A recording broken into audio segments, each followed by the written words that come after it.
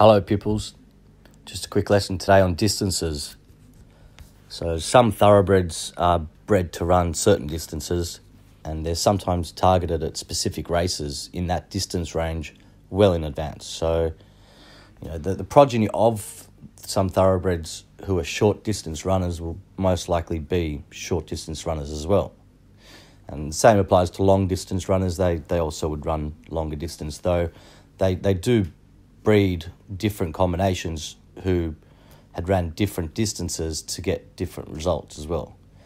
So the the the distance range itself is it's usually around nine hundred to thirty two hundred, with with a few exceptions. Though, you know the trials that horses can have prior to them racing, they're almost always shorter than actual races themselves. So every thoroughbred they have their own distance range and the range obviously varies depending on the individual itself, but the majority of races are usually between 1200 2400 although there are a lot of, of races that you know fall outside of those.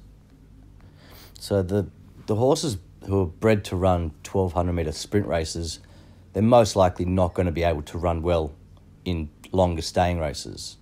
Although there are you know there's always exceptions you know every now and then for those so um, yeah, that they, they have a preparation.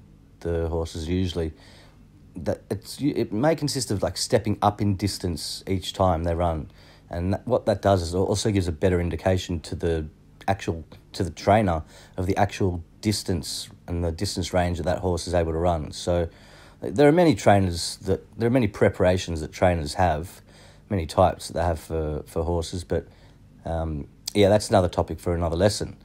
Uh, so yeah, once the horse is, is basically established as what distance it's it's good at, what range it's it's suited at running, then it's pretty much time to nominate it for a race and yeah, see if it can win some prize money. So they're placed into a race by the trainer and and uh, yeah, the distance of the race will tell you a lot. So yeah, keep your eye out for the distances. Um, they are very important.